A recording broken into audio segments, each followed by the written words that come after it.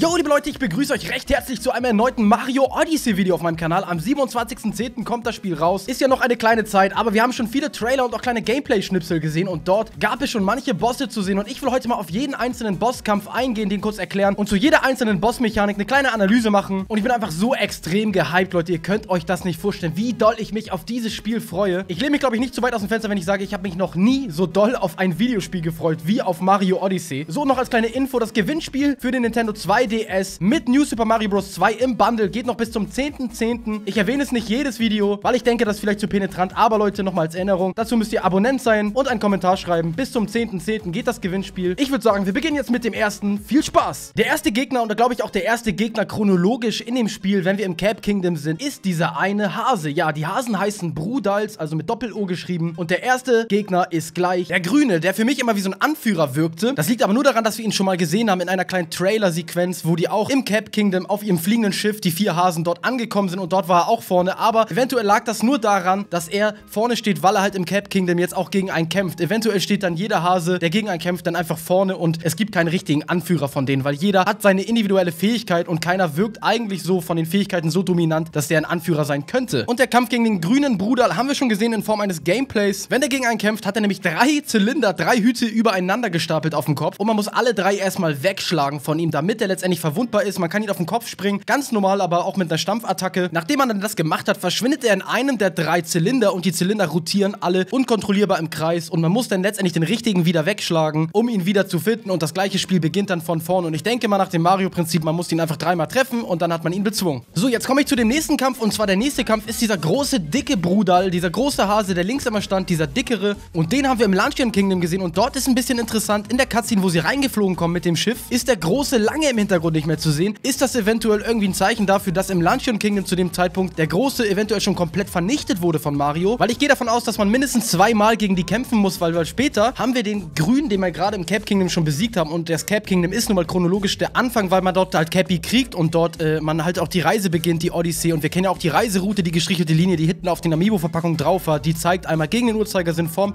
Cap Kingdom letztendlich einmal gegen den Uhrzeigersinn wiederum zum Mushroom Kingdom. Und da wir den Grünen ja am Anfang schon besiegen im Cap Kingdom, er aber später wiederum auf dem Schiff ist im Luncheon Kingdom, gehe ich einfach davon aus, dass man mindestens zweimal gegen die Bruders kämpfen muss. Wenn dem aber so sei, dass er der Anführer ist, dann kann das auch sein, dass man gegen ihn vielleicht nur mehrmals kämpfen muss. Auf jeden Fall wieder weiter zurück zum Luncheon Kingdom, wo man gegen den dicken Fetten kämpft. Und zwar der hat eine ganz coole Fähigkeit und zwar spuckt der Säure oder Gift auf den Boden, was man natürlich nicht berühren darf, weil man sonst Schaden nimmt. Und in der Kampfarena sind auch vier solche komischen Bohnen, mit denen man ihn auch angreifen kann, beziehungsweise die kann man treten und oder schlagen, besser gesagt, und die können ihn dann wiederum den Hut vom äh, Kopf schlagen, den Bruder, den dicken. Und erst nachdem er den Hut ihn vom Kopf geschlagen hat, kann man ihn auch treffen. Also wieder auf den Kopf springen mit einer Stampfattacke oder ganz normal. Ich denke, das ist so der Urinstinkt auch von einem Mario-Spieler, dass man das als erstes macht. Der dicke Hase bedeckt die ganze Zeit den Boden auch mit Säure und die kann man wiederum mit Cappy wegwirbeln. Man kann ja diese Rundumattacke machen oder einfach ihn nach vorne werfen. Dann macht man sich so kleine Pfade durch das Gift und kann so langsam den Boden säubern, was auch wichtig ist, weil ansonsten ist irgendwann alles voll und man hat gar keine Fläche mehr, irgendwo raufzutreten. Nachdem man ihn dann getreten hat, ist das wie bei dem anderen Bruder, dass er auch in seinen Hut verschwindet. Bei ihm ist es nur einer, nicht drei. Und er verschwindet in diesem Hut, was ein bisschen wie ein UFO aussieht. Und er fliegt damit auch kurz über den Boden und verteilt dann nochmal in einem ganz komischen Muster einfach Säure wieder über den Boden. Ansonsten gibt es nicht mehr viel zu sagen. Ich denke, das muss man dreimal machen, bis man ihn letztendlich besiegt hat. Was aber noch interessant ist, ist, dass man nach diesem Bosskampf nur einen Mond kriegt. Also man kriegt nicht nach jedem Bosskampf so eine Dreier-Mond-Staude. Deswegen ist es nicht immer nach jedem Bosskampf einfach so, kann man das pauschal sagen, dass man immer so einen Dreier-Mond kriegt. Hier kriegt man nur einen, weil das eventuell auch nicht der vernichtende Kampf war, wo man diesen Dicken letztendlich besiegt. Einen weiteren Kampf gegen die Brudals haben wir noch gesehen und zwar im Sand Kingdom haben wir gesehen, wie diese Dame rechts, also diese weibliche Brudal-Tante dort gegen einen kämpft, die richtig verrückt lacht, also die Soundfiles sind echt verrückt. Und sie hat hinten an ihrem Zopf Bomben, sie wirft Bomben auf einen immer wieder. Man muss natürlich auch erstmal wieder ihren Hut wegschlagen, also es ist immer das gleiche Prinzip, dann springt man auf ihren Kopf, danach verschwindet sie auch in ihrem Hut, ja, genau wie die anderen. Sie ist aber dann wie so ein Raumschiff höher über dem Boden, also es sieht wirklich auch aus wie so ein UFO und dieses UFO-Gedöns, das ist für mich wirklich vielleicht so ein bisschen ein Hinweis darauf, dass es noch später auf den Mond geht, beziehungsweise der Mond wird ja immer so präsent gezeigt und ich denke, dass man später auf den Mond hundertprozentig kommt und dass die Bruders von dem Mond auch kommen, beziehungsweise dass Bowser sich irgendwie Hilfe geholt hat von denen und dass eventuell sogar die Hochzeit am Ende auf dem Mond stattfindet, wenn sie denn nicht im Pilzkönigreich stattfindet. Aber das wäre auf jeden Fall cool, wenn man noch auf den Mond kommt und dass dort eventuell die Bruders ihr Zuhause haben. Weil im Japanischen gibt es auch ganz viele Märchen und Mythologien, dass Hasen vom Mond, also es gibt auch so eine Mondhasengeschichte. Deswegen vielleicht hat sich Nintendo da auch inspirieren lassen, weil Nintendo hat ihren Sitz, ihren Hauptsitz nun mal in Japan. Auf jeden Fall, wenn denn die weibliche Brudaldame dann in ihrem einem komischen Hut wieder ist und dort wie ein Raumschiff rumfliegt, verteilt sie überall Bomben. Wenn man diese überlebt hat, dann kann man das gleiche Spielchen wieder von vorne machen. Dreimal, man hat sie dann besiegt. Und nachdem man sie besiegt hat, ist wieder interessant. Dort kriegt man wiederum eine Dreier-Mondstaude, weil das eventuell auch ihr Tod bedeutet hat. Also, dass man sie vielleicht dort richtig vernichtend geschlagen hat. So, es gibt aber noch weitere Bosskämpfe. Es gibt natürlich nicht nur die Hasen, weil das wäre ein bisschen einfallslos und so ist Nintendo nun mal nicht, Leute. Mario Odyssey ist sowas von kreativ, was von den Bossen auch jetzt ausgeht. Auf jeden Fall haben wir von Nintendo Direct noch den Trailer gesehen und dort haben wir diese dicke, fette Brudal-Tante gesehen, die wirklich alt und richtig fett und groß aussieht, die den goldenen Chain Chomp an der Kette hat und dieser Chain Chomp hat auch eine kleine Mütze auf. Es gibt nur diese kleine Szene von ihm, beziehungsweise von ihr. Und die Bossmechanik habe ich letztens schon mal erklärt und zwar gibt es einen Mond in dem Cascade Kingdom, wo man sich in einen Chain Chomp letztendlich reinversetzen muss. Also man muss die Kontrolle über ihn übernehmen und muss dann die Kette spannen, an denen er ge gefangen ist, gekettet ist und dort muss man dann eine Wand zerschlagen. Man muss sozusagen die Kette spannen, dann loslassen und dann wird der Chain Chomp da gegen die Wand gedonnert. Dahinter ist dann der Power Mond. Und ich denke, dass das genauso bei dem Boss funktioniert, dass man sich auch erstmal muss erstmal die Mütze von dem Chain Chomp irgendwie wegkriegen, beziehungsweise raufspringen oder irgendwie mit irgendeiner Mechanik die Mütze wegschlagen von dem goldenen Chain Chomp und dann kann man letztendlich die Kontrolle über ihn übernehmen, die Kette spannen, loslassen und dann kriegt die dicke Brudal Oma endlich Schaden. Und ich denke, das muss man dreimal machen und dann besiegt man sie. Das ist so meine Theorie. Mal gucken, ob es wahr wird. Über den ganz langen Hasen, der immer hinten stand, der auf einmal auch weg war im Landschirm Königreich. Über den habe ich noch gar nichts gesehen. Ich weiß gar nicht, wie der ungefähr kämpft, was seine Mechanik ist. Geschweige denn, in welchem Königreich er auftritt. Also es ist wahrscheinlich ein Königreich, das wir noch nicht gameplay-technisch gezeigt bekommen haben. Also entweder das Lake-Königreich oder dieses kleine tropische oder eventuell sogar im Snow Kingdom. So, dann kommen wir mal zu den interessanteren Bossen meiner Meinung nach. Und zwar, das sind die weltspezifischen Bosse. Also ich sage damit, die Bosse, die jetzt keine Hasen sind und die nur in dieser Welt auftreten, also nur in den einzelnen Königreichen. Da wäre zum einen der Vogel im Lanchion-Königreich und der Bosskampf sieht einfach extrem geil aus. Es gibt nicht allzu viel Gameplay von ihm. Nintendo hat da ganz klar die Schranken gesetzt. Die Leute, die das hochladen, dürfen einfach nicht zu viel zeigen. Das haben die YouTuber, die das hochladen haben, auch äh, erzählt, also beziehungsweise geschrieben, dass sie nicht mehr zeigen dürfen. Ich habe aber erstmal Recherchearbeit betrieben und kann euch sagen, wie ihr den Boss triggert. Und zwar das Lanchion-Königreich. Dort müsst ihr erstmal auf diesen einen Berg raufklettern, mehr oder weniger. Weil man sieht ja immer oben so präsent, auf so einem anderen Berg, so ein Vulkan, ist so ein komischer Topf und dort oben kreist dieser komische Vogel rum. Und diesen Vogel haben wir auch schon im E3-Trailer gesehen, mit so einem Stück Fleisch in seinen Krallen. Und dann später wiederum kreist er einfach nur in dem Topf, in dem Gameplay von der letzten Direct. Und da habe ich mir schon gedacht, was hat dieses Stück Fleisch? Was hat es damit auf sich? Und dieses Stück Fleisch, kann ich euch sagen, ihr müsst nämlich so einen Berg erklimmen und dort könnt ihr letztendlich die Kontrolle über ein Stück Fleisch sogar übernehmen. Ihr seid das Stück Fleisch.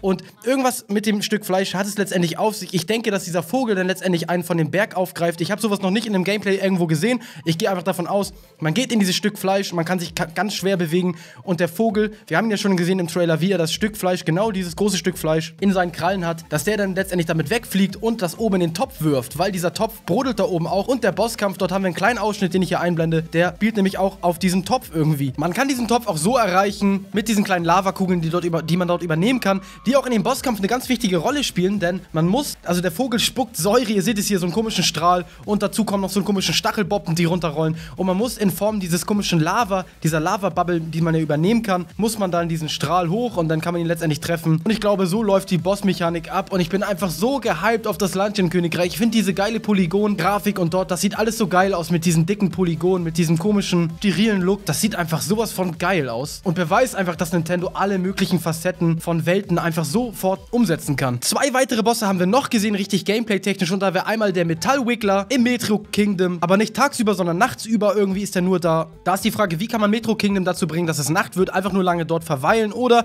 kann man eventuell in der Odyssey das irgendwie umstellen? Oder man muss später wieder zurück? Oder der Tag-Nacht-Zyklus ist einfach dort so, dass der Planet sich richtig dreht, weil wir haben ja schon den Planeten auch richtig so gesehen. Wenn man letztendlich in ein neues Königreich fliegt, dann sehen wir den Globus auch richtig so mit dem Mond und eventuell ist einfach der Tag-Nacht-Zyklus auf den gesamten Planeten dann so. Auf jeden Fall kann Mario dort die Kontrolle über einen Panzer übernehmen. Ja, der Panzer, den er dann steuert und dort kann er dann gegen den Metallwiggler ankämpfen und der Metallwiggler ist eigentlich wie jeder andere Wiggler, nur dass er am Gebäude längs krabbelt und ziemlich brachial aussieht und ziemlich böse meiner Meinung nach. Anders wie die anderen Bosse, die teilweise noch so ein bisschen lustig aussahen, der sieht ziemlich brachial aus. Und es ist fast wie bei jedem anderen Wiggler, man muss einfach jeden einzelnen Abschnitt von dem Wiggler, jede einzelne Kugel treffen und ich glaube, dann hat man ihn besiegt. Die Frage ist nur, gibt es eventuell noch Donkey Kong als Gegner? Das wäre einfach sowas von geil, wenn man Donkey Kong noch besiegt, wenn vielleicht tagsüber Metro Kingdom ist dann Donkey Kong noch der, der Boss von New Donk City. Das würde ich mir einfach wünschen, das wäre sowas von geil. Eventuell verheimlicht uns Nintendo das einfach nur noch, weil wir merken auch, sie zeigen in Gameplay, in, in Trailern und sowas nicht alles. Im allerersten Trailer haben sie nicht mal gezeigt, dass man mit Cappy Feinde übernehmen kann. Und jetzt auch bei den Gameplay, was die Leute hochladen dürfen, die YouTuber, werden Schranken gesetzt, was sie einfach zeigen dürfen und was nicht. Und das macht Nintendo allgemein. Das haben die in der Vergangenheit schon gemacht. Und ich denke, es wird noch Sachen geben, wie zum Beispiel Yoshi, Luigi und eventuell sogar Donkey Donkey Kong und auch der Mond, der später und auch das Pilzkönigreich, was später begehbar sein wird, dass sie das einem einfach noch verschweigen. Der letzte Boss, von dem wir richtig Gameplay gesehen haben, ist der große Octopus aus dem Seaside-Königreich. Ja, und das Seaside-Königreich wurde uns ja auch ganz lange verschwiegen, also es wurde nicht gezeigt. Es wurde dann letztendlich irgendwie revealed, offiziell bei der Direct, aber davor hatte ich ja auch schon Videos, wo ich das auch schon analysiert habe, dass es auf jeden Fall vorhanden ist. Ja, und um den zu triggern, muss man da erstmal die ganzen Schalter, die rund um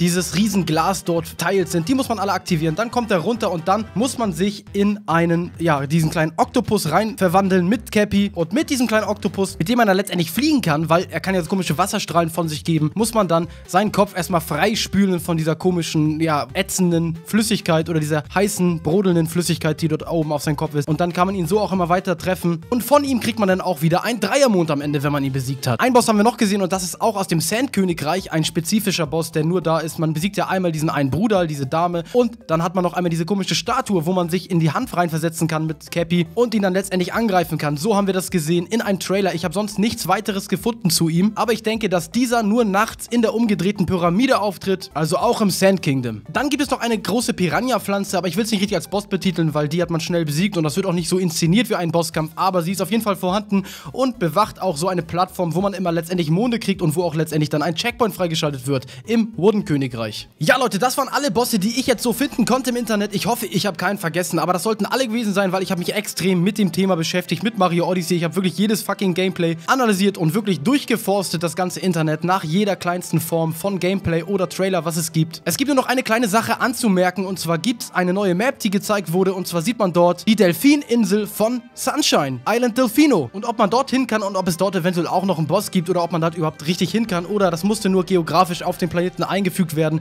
damit das dann auch richtig so ins Mario-Universum passt. Kann auch sein, aber ich hoffe, dass man dorthin kann. Der gute Akata hat darüber ein Video gemacht, das könnt ihr auf jeden Fall abchecken, habe ich in der Videobeschreibung verlinkt. Ansonsten würde ich mich über ein Abo freuen. Wie gesagt, das Gewinnspiel geht bis zum 10.10. .10. an alle Abonnenten, die einen Kommentar jetzt hier unterschreiben. Und damit bin ich jetzt raus. Ich wünsche euch einen wunderschönen Tag. Haut rein, ciao und tschüss, euer Theo.